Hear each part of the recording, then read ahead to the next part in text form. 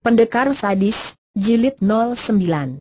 Kalau dilihat dari belakang, orang-orang akan merasa kagum dan suka kepada dua orang anak laki-laki yang dalam usia belasan tahun itu sudah membayangkan tubuh yang sehat kuat, tubuh yang punggungnya tegak lurus, kepala tegak dan sepasang kaki kokoh kuat, bayangan tubuh calon-calon pendekar.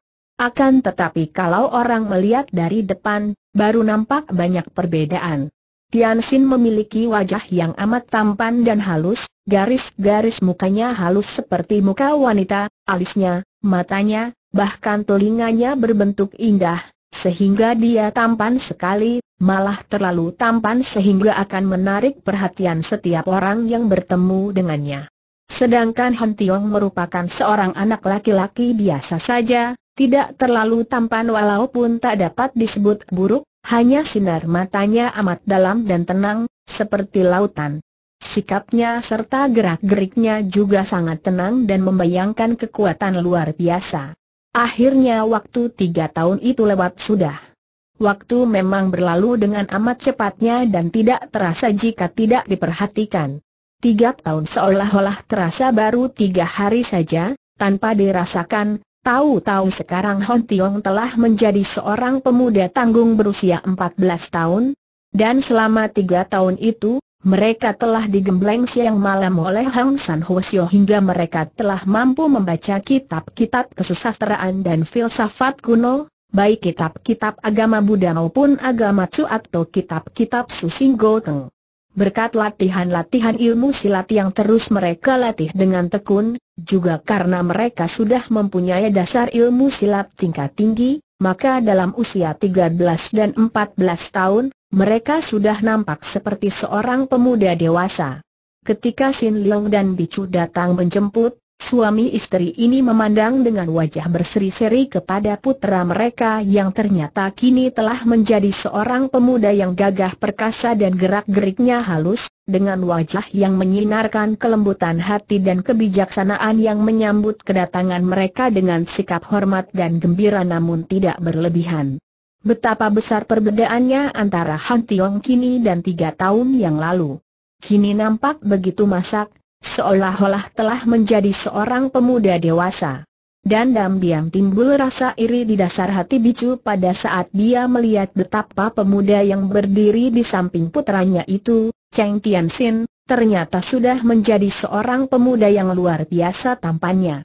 Akan tetapi rasa iri ini segera ditutupnya dengan sedikit kebanggaan ketika mengingat bahwa pemuda tanggung yang sangat tampan dan ganteng itu adalah anak angkatnya. Sin Leong lalu menghaturkan terima kasih kepada Hang San Hosio atas bimbingannya kepada kedua orang anak itu selama tiga tahun, dan dalam kesempatan ini, Hang San Hosio mengajak Sin Leong masuk untuk bicara empat meter saja. Setelah mereka duduk berhadapan, Hang San Hosio menghela napas dan berkata, Adikku Sin Leong, sebelum engkau menurunkan ilmu-ilmu silat tinggi kepada kedua orang putramu, Sebaiknya kalau Pim Cheng memberitahukan hal-hal penting yang Pim Cheng lihat dalam diri mereka. Sin Leong merasa girang sekali. Tentu saja, to aku. Memang selama ini tentu to aku yang lebih mengetahui perkembangan batin mereka berdua, dan amatlah penting bagiku untuk mengetahui perkembangan itu dan dasar-dasar watak mereka. Tentang Han Tiong, tak ada yang perlu diragukan.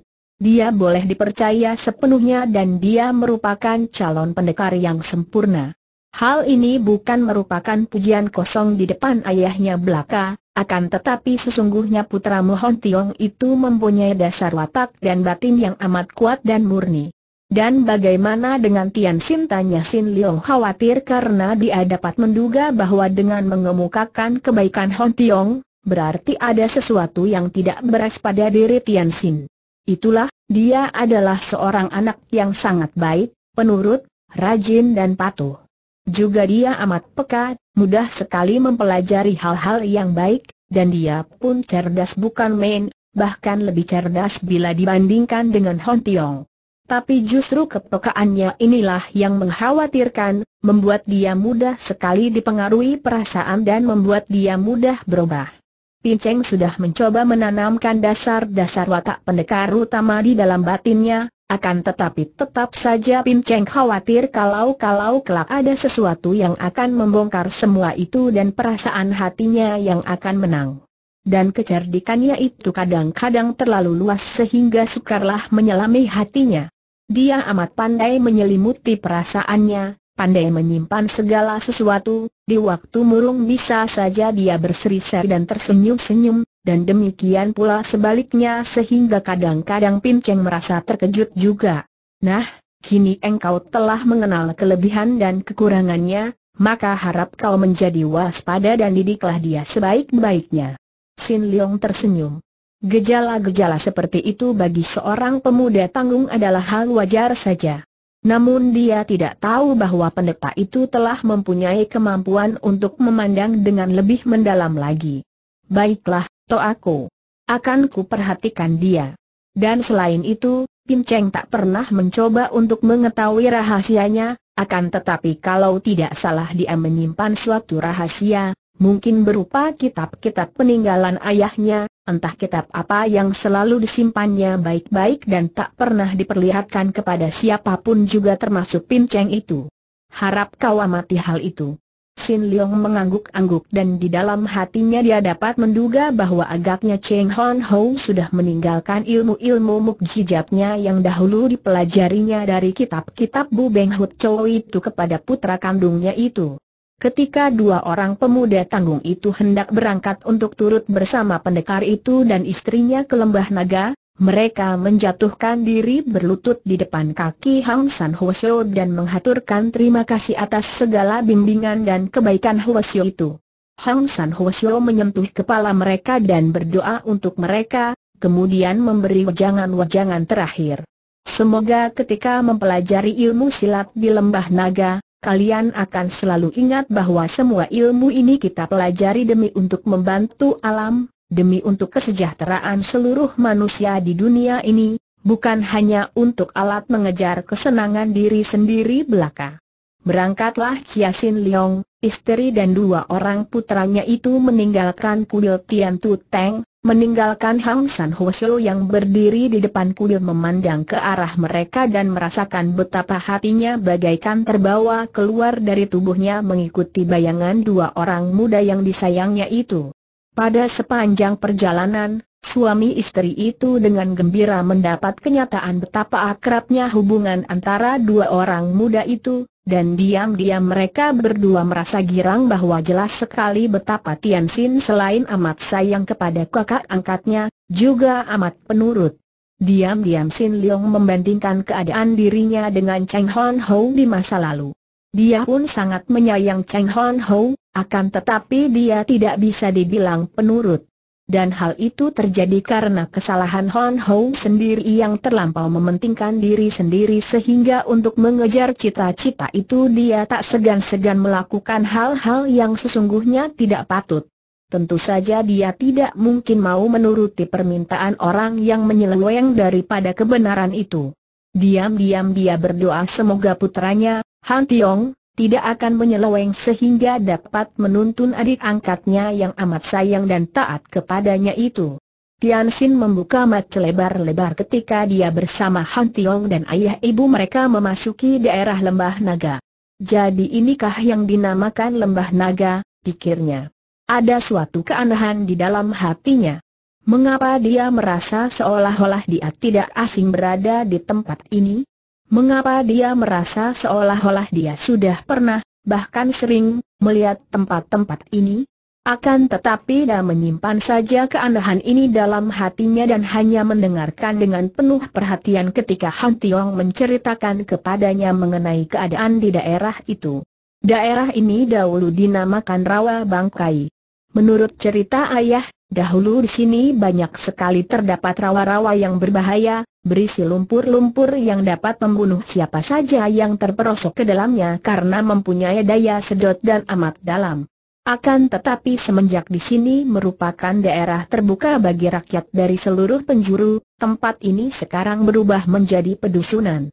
Lihat, mereka adalah penghuni dusun pertama yang telah melihat kedatangan kami. Ayah dan ibu amat dihormat di sini, karena kami membiarkan mereka tinggal di daerah lembah naga tanpa dipungut pajak apa pun. Dan memang sebenarnya lah. Dari dalam sebuah dusun pertama, berduyun-duyun keluar orang-orang, laki-laki dan perempuan, tua muda dengan wajah riang gembira menyambut kedatangan rombongan itu. Tian Xin melihat bahwa mereka adalah petani-petani yang bertubuh sehat dan berwajah gembira, bahkan agaknya berpakaian cukup rapi walaupun sederhana. Dan bentuk tubuh serta wajah mereka cukup tampan dan manis, menandakan bahwa kehidupan mereka tenteram dan mereka tidak kekurangan makan di tempat itu. Nampak olehnya beberapa orang anak-anak, yang laki-laki juga kelihatan periang serta kuat sedangkan anak-anak wanitanya juga manis-manis dan lucu-lucu. Selamat datang, Tia Kong Chu demikian semua orang menyambut Han Tiong. Mereka masih mengenal pemuda yang telah pergi selama tiga tahun itu dan beberapa orang anak lelaki sebaya Han Tiong telah datang mendekat dan tersenyum-senyum agak malu-malu. Han Tiong mengangkat tangan dan berseru ke kanan kiri. Apa kabar? Mudah-mudahan kalian baik-baik saja semua. Demikianlah, mereka melalui beberapa buah pedusunan lagi yang hanya ditinggali oleh puluhan orang, dan semua penghuni pedusunan itu menyambut dengan gembira, sampai akhirnya mereka tiba di sebuah istana tua, istana lembah naga dan jantung Tianxin berdebar keras. Dia berdiri di depan istana kuno itu dan merasa bagaikan mimpi. Istana ini tidak asing baginya. Di dalam mimpi dia sering bertemu dengan bangunan ini. Mimpikah dia ketika bertemu dengan bangunan ini, ataukah sekarang ini dia sedang mimpi? Cepat digosok-gosoknya matanya dan dia merasa terheran-heran. Ada apakah dengan matamu, Sinte? Adik Sin Hon Tiong bertanya sambil menyentuh pundaknya. Tian Sin menoleh sambil tersenyum, menghentikan menggosok-gosok mata akan tetapi masih mengerling ke arah bangunan itu dengan penuh keheranan. Ah, tidak apa-apa, Tiongko, aku hanya kagum melihat bangunan ini yang begini kokoh kuat dan demikian menyeramkan. Tian Sin, dahulu bangunan ini pernah menjadi tempat tinggal Raja Sabutai, juga pernah menjadi tempat tinggal mendiang ayahmu, sebelum engkau terlahir. Mendengar ucapan Sin Leong yang kelihatan terharu itu, Tian Sin mengangguk-angguk dan mengertilah dia sekarang kenapa ada suatu pertalian batin antara dia dengan tempat ini. Kiranya tempat ini pernah menjadi tempat tinggal ayahnya. Dia sama sekali tidak tahu bahwa tempat ini pun merupakan tempat di mana ayahnya jatuh, di mana ayahnya melihat hancurnya semua cita-citanya, bahkan di mana ayahnya mengalami kekalahan mutlak, yaitu dari pendekar lembah naga yang sekarang menjadi ayah angkatnya itu. Demikianlah, mulai hari itu Tian Sim tinggal di istana lembah naga, dan dengan tekun ia bersama Han Tiong mulai berlatih ilmu silat tinggi di bawah bimbingan Chia Sin Leong. Sin Leong menurunkan semua kepandaiannya dengan sungguh hati, mengajarkan semua ilmu silat yang dimilikinya, tentu saja disesuaikan dengan bakat kedua anak itu. Setelah mulai mengajarkan ilmu silat tinggi kepada dua orang pemuda itu, Sin Leong baru dapat melihat bahwa bakat pada diri Tian Sin sungguh amat menonjol. Dia terkejut dan kagum sekali, dan harus diakuinya bahwa Tian Sin ternyata lebih menonjol dibandingkan dengan puteranya sendiri, sungguh pun putranya juga seorang yang berbakat amat baik. Hal ini karena Tian Xin memiliki kecerdikan yang luar biasa sehingga anak ini mampu merangkai sendiri gerakan-gerakan ilmu silat dan menambahkan kembangan-kembangan yang baik sekali.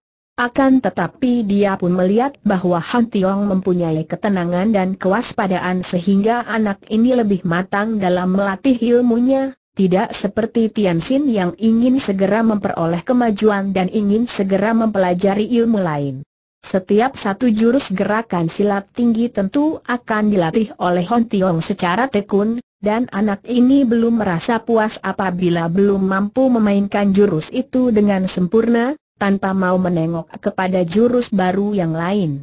Sebaliknya, Tian Xin ingin cepat menguasai jurus ini agar segera bisa mempelajari jurus lain.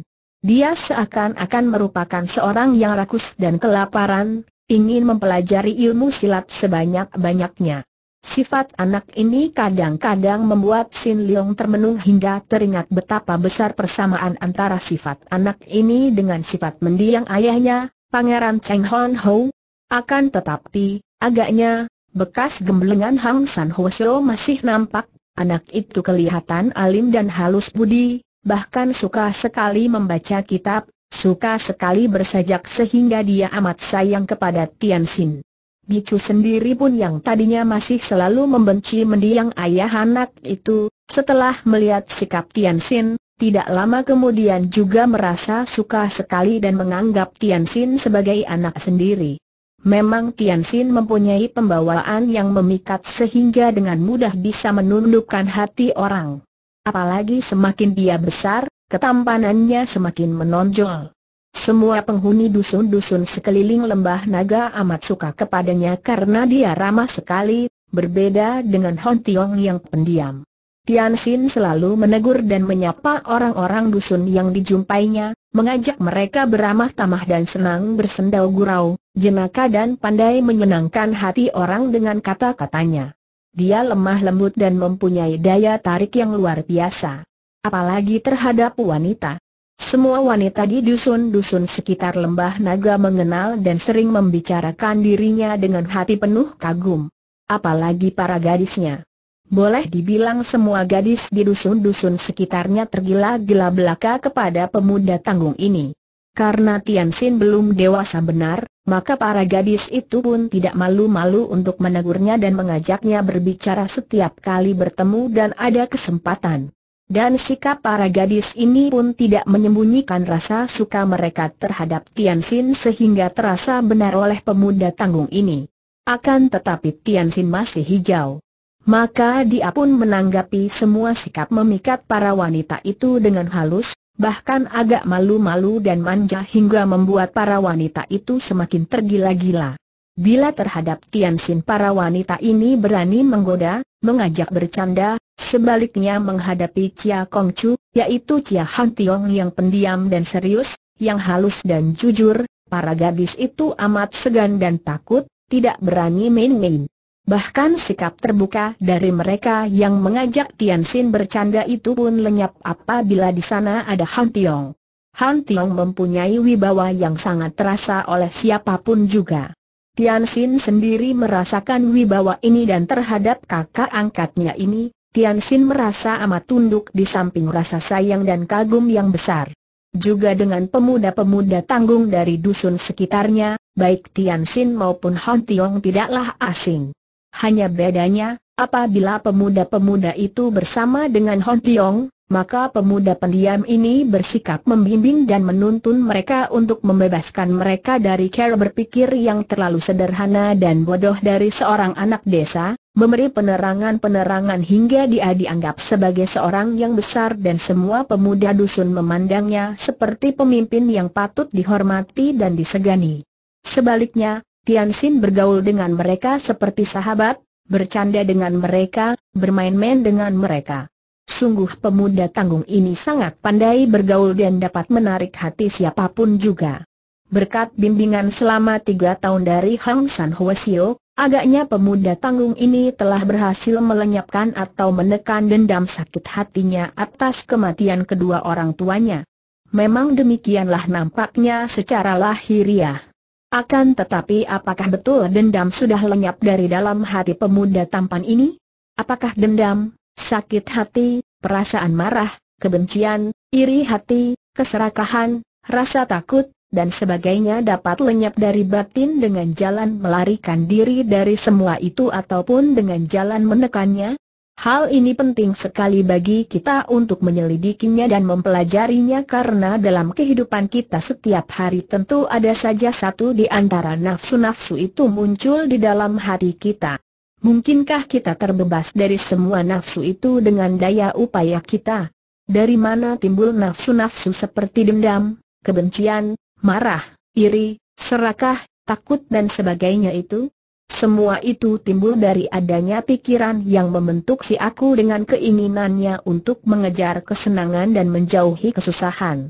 Karena si aku ini merasa diganggu, dirugikan baik lahir maupun batin, kemudian timbullah kemarahan, kebencian dan sebagainya. Karena si aku ini ingin mengejar kesenangan, maka lahirlah keserakahan, iri hati dan sebagainya. Setelah muncul kemarahan, baik dari pengalaman atau dari penuturan orang lain, si aku melihat bahwa kemarahan itu tidak akan menguntungkan. Maka timbullah keinginan lain lagi, yaitu keinginan untuk melenyapkan kemarahan. Jelas bahwa yang marah dan yang ingin bebas dari kemarahan itu masih yang itu-itu juga, masih si aku yang ingin senang karena ingin bebas dari kemarahan itu pun pada hakikatnya hanya si aku ingin senang, menganggap bahwa bebas marah itu senang atau menyenangkan. Jadi, si marah adalah aku sendiri, dia yang ingin bebas marah pun aku sendiri. Bermacam daya upaya dilakukan oleh kita untuk bebas dari kemarahan atau kebencian dan sebagainya. Ada yang melarikan diri dari kenyataan itu dengan cara menghibur diri, minum arak sampai mabuk, bersenang-senang hingga mabuk atau mengasingkan diri di tempat sunyi. Ada pula yang mempergunakan kekuatan kemauan untuk menghimpit dan menekan kemarahan yang timbul itu, pendeknya, Segala macam daya upaya dilakukan orang untuk membebaskan diri daripada kenyataan, yaitu amarah itu. Bagaimana hasilnya? Memang nampaknya berhasil, nampak dari luar memang berhasil. Yang marah itu tidak marah lagi oleh penekanan kemauan atau oleh hiburan. Akan tetapi, tidak mungkin melenyapkan penyakit dengan hanya menggosok-gosok supaya nyerinya berkurang atau lenyap. Karena penyakitnya masih ada, maka rasa nyeri itu pun tentu akan timbul kembali. Begitu pula dengan kemarahan, kebencian dan sebagainya. Memang dengan penekanan atau hiburan, kemarahan itu seolah-olah pada lahirnya sudah lenyap, api kemarahan itu seakan-akan sudah padam. Akan tetapi sesungguhnya tidaklah demikian. Api itu masih membara, seperti api dalam sekam, di luarnya tidak nampak bernyala namun di sebelah dalamnya membara masih ada dan sewaktu-waktu akan berkobar lagi. Karena itulah, tercipta lingkaran setan pada diri kita. Marah, disabarkan atau ditekan lagi, marah lagi, ditekan lagi dan seterusnya selama kita hidup. Mengapa kita tidak hadapi secara langsung segala yang timbul itu? Pada waktu timbul marah, timbul benci, timbul iri, timbul takut dan sebagainya. Kenapa kita lari? Kenapa kita tak menanggulanginya secara langsung, mengamati, menyelidiki dan mempelajarinya secara langsung? Mengapa kita tidak membuka mata dan waspada, penuh kesadaran akan semua itu? Kalau marah timbul dan kita membuka mata penuh kewaspadaan, mengamatinya tanpa ada akal bulus si aku yang ingin merubah, ingin sabar dan sebagainya seperti itu, kalau yang ada hanya kewaspadaan saja, pengamatan saja, maka apakah akan terjadi dengan kemarahan yang timbul itu? Cobalah. Segala pengertian itu tiada guna kalau tidak disertai penghayatan. Pengertian berarti penghayatan. Tanpa penghayatan maka pengertian itu hanya akan merupakan pengetahuan kosong saja, hanya akan menjadi teori-teori usang yang pantasnya hanya disimpan di lemari lapuk untuk hiasan belaka, tidak ada manfaatnya bagi kehidupan.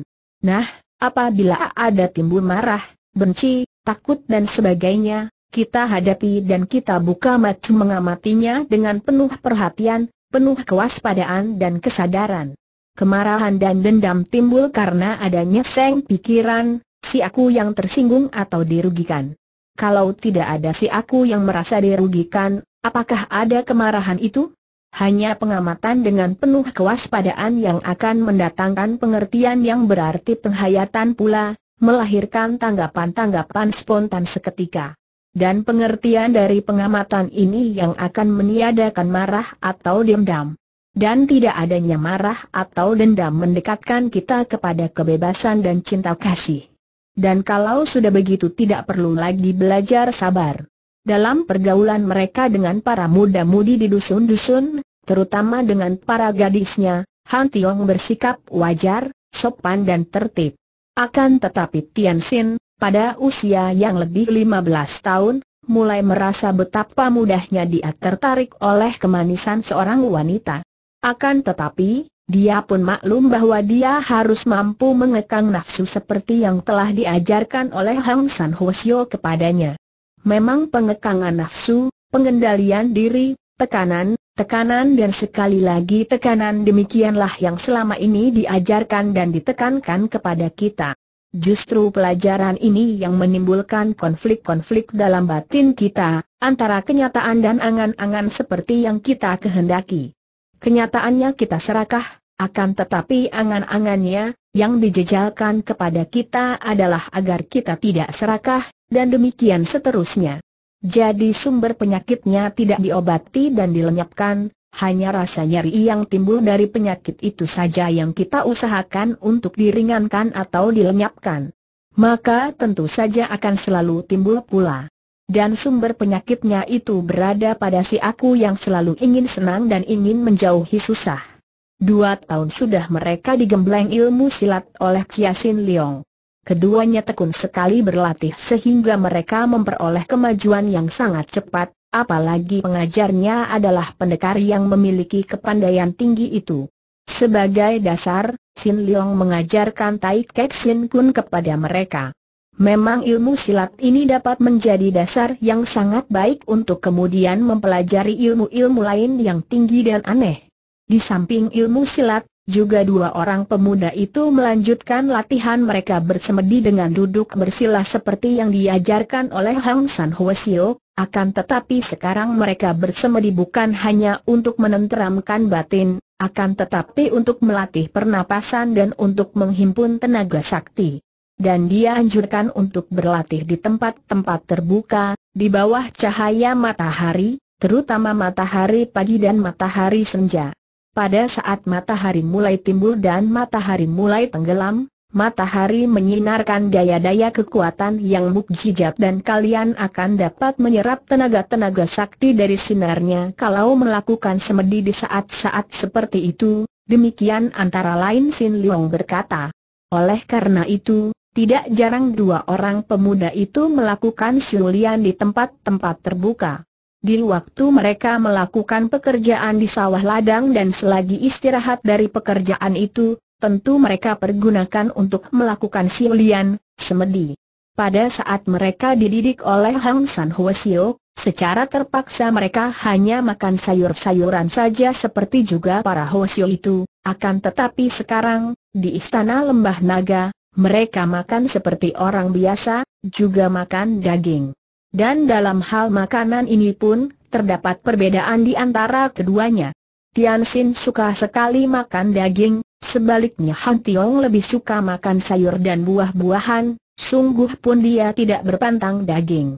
Juga kalau Tian Sin suka pula minum arak, sungguh pun bukan pemabuk, maka Han Tiong tidak begitu suka dan hanya minum arak untuk menghangatkan tubuh saja. Memang sudah nampak perbedaan besar di antara kedua orang muda ini.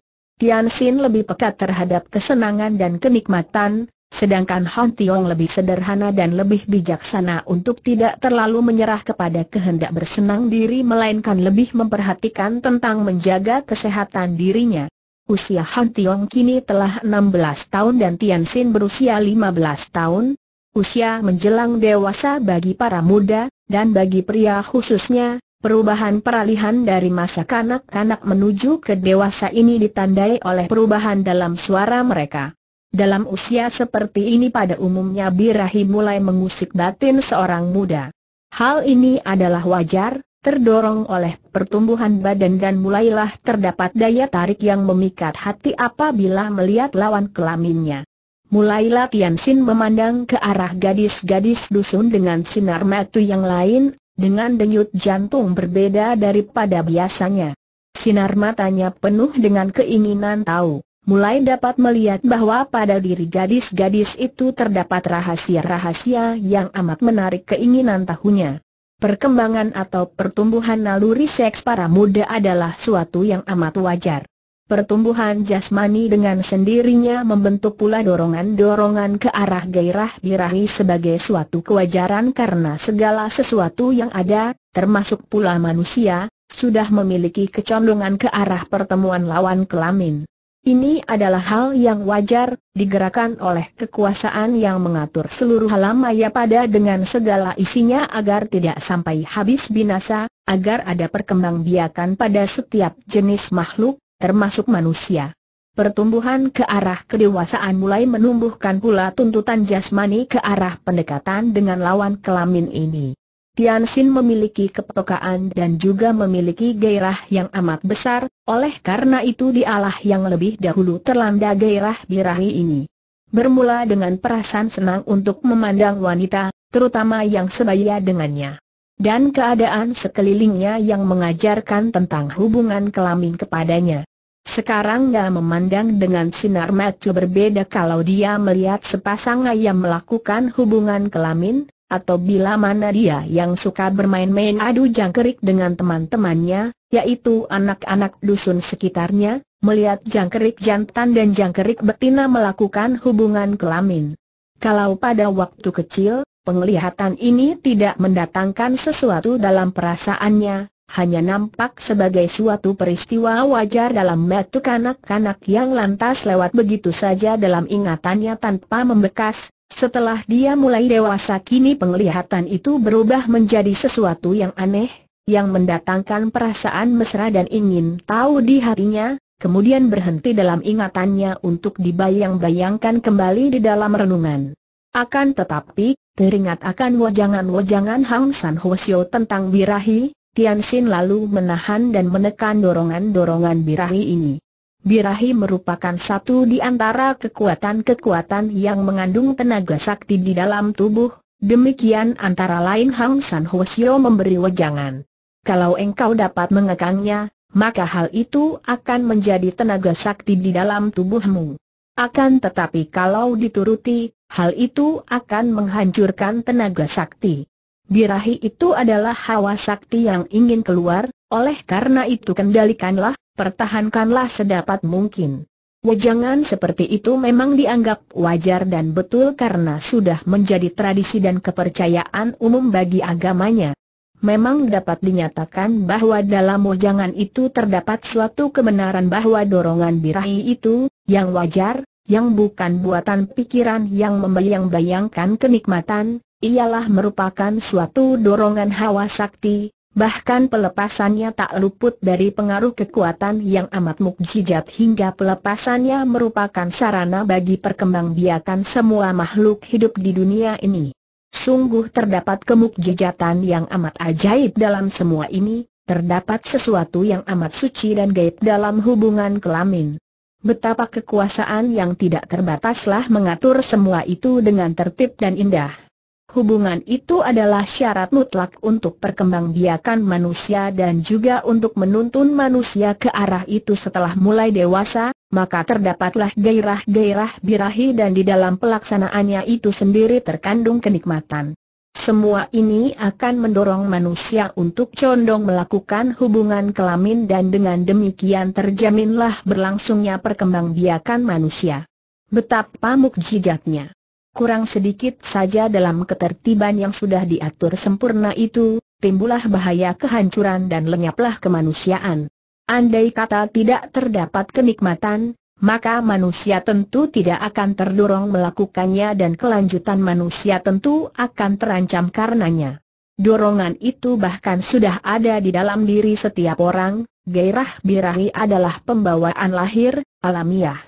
Hubungan kelamin merupakan hal yang suci manusia sendirilah yang merusak semua keindahan serta kesempurnaan ini, dengan memelihara kesenangan dan kenikmatannya sehingga hal yang suci ini berubah menjadi kesenangan yang dikejar-kejar dan dicari-cari hanya untuk diraih sebagai pelepas nafsu dan untuk mencapai kepuasan belaka.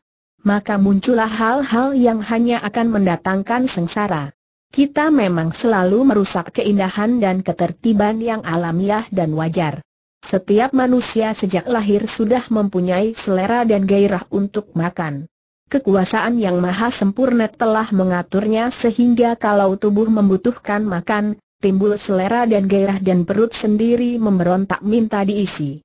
Dengan demikian, proses makan maupun kebutuhan lain dari tubuh seperti pernapasan dan sebagainya, adalah hal yang wajar dan untuk memberi dorongan kepada manusia untuk memenuhi tuntutan jasmani melalui perut ini, manusia telah diberi rasa enak di waktu mengisi perut. Seperti juga tuntutan birahi yang menjadi sarana perkembangbiakan, bukankah hal ini merupakan suatu kewajaran?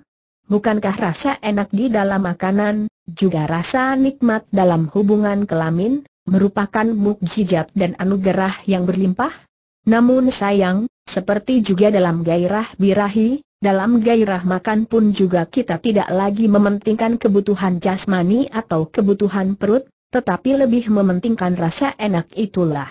Kita melupakan artinya yang hakiki, kita melupakan kepentingannya dan hanya mengejar rasa enak dalam makan, dan mengejar rasa nikmat dalam hubungan seks.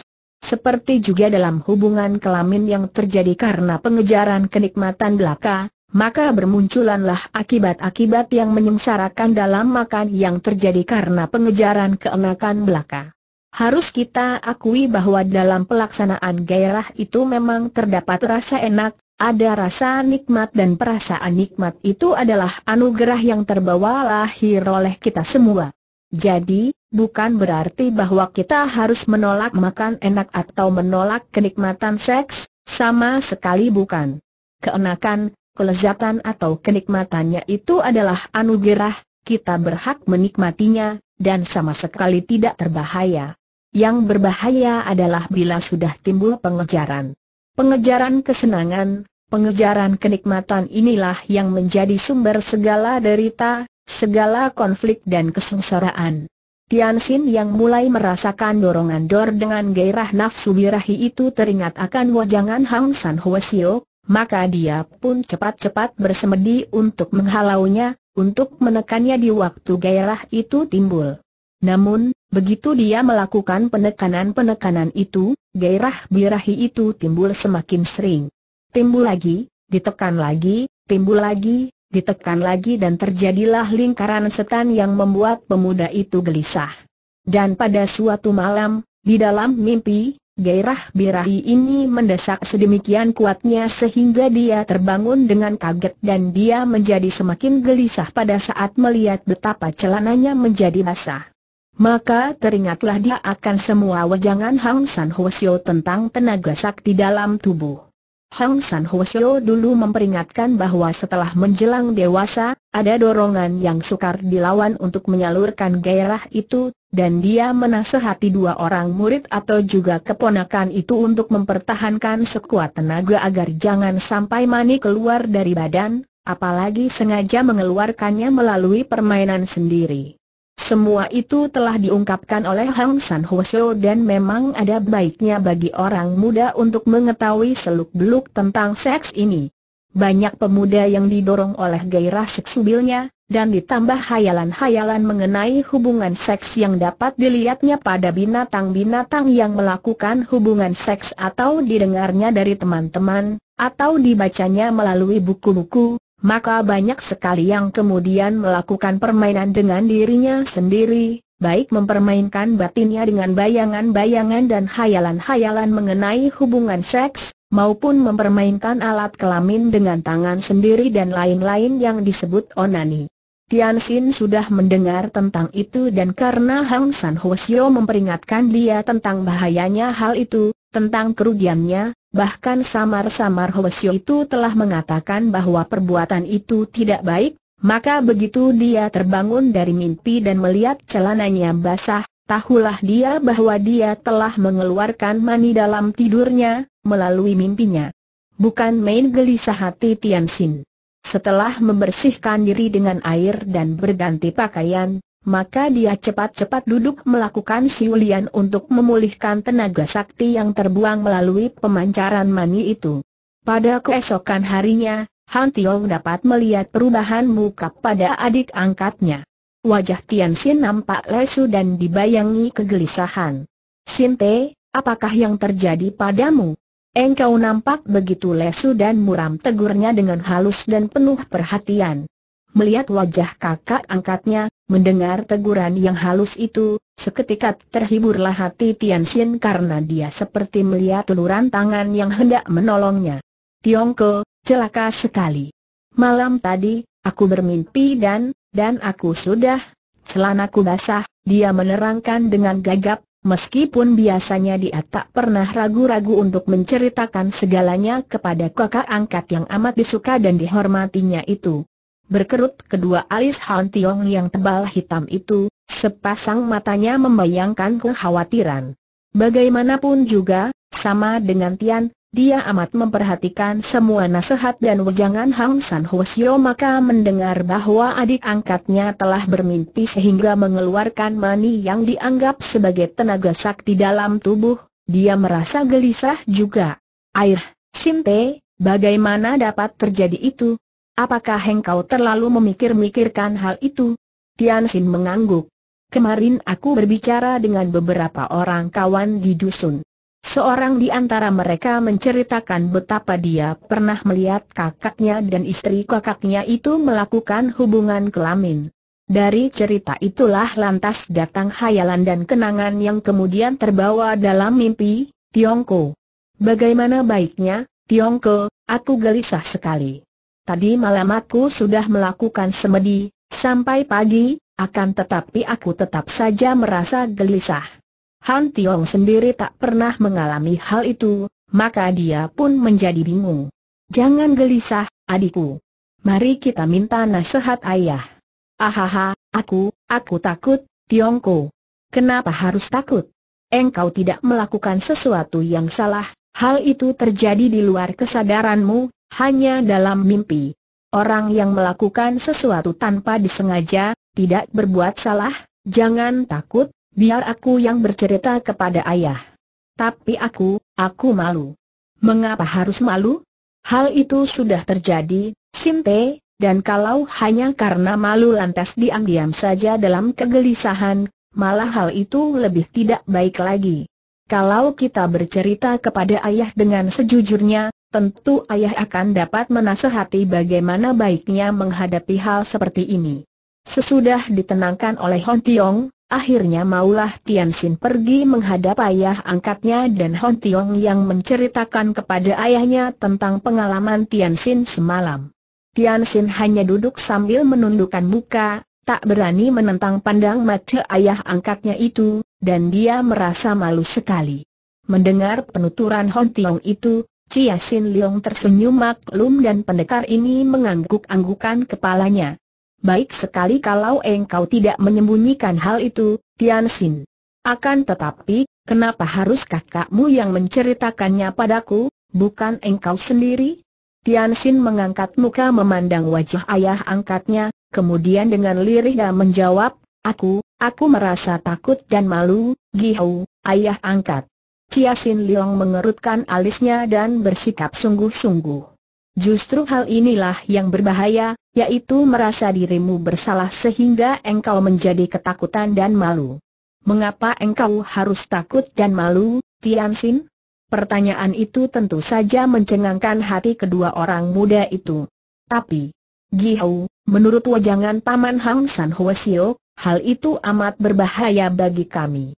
Paman Hang San Hosio telah memesan dengan sungguh-sungguh supaya kami jangan bermain-main dengan diri sendiri sehingga mengeluarkan mani, bahkan menjaga agar jangan sampai mengeluarkan mani sama sekali karena hal itu akan menghilangkan tenaga sakti di dalam tubuh. Chia Sin Leong mengangguk-angguk. Memang tidak terlalu keliru pernyataan bahwa hal itu akan melemahkan akan tetapi bukan untuk seterusnya tenaga sakti yang keluar itu akan dapat pulih kembali. Memang hal itu tidak baik, akan tetapi yang lebih tak baik lagi, yang lebih berbahaya lagi adalah perasaan takut dan malu itulah.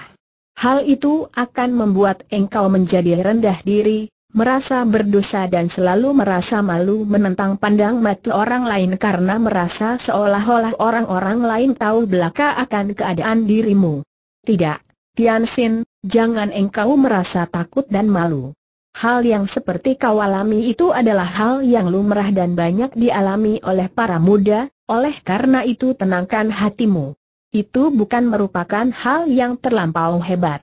tentu saja akan lebih baik kalau hal itu tidak sampai terjadi dan jika engkau lebih mencurahkan perhatian pada pelajaran-pelajaranmu, baik pelajaran silat atau pelajaran sastra, mengisi waktumu dengan hal-hal yang berharga dan tidak terlalu membayang-bayangkan hal-hal yang dapat menimbulkan nafsu birahi, maka hal ini pun tak akan terjadi, atau tidak sering mengganggumu. Bukan main leganya rasa hati Tian Sin mendengar keterangan ayah angkatnya itu, akan tetapi dia pun merasa malu karena pendekar itu menyambung.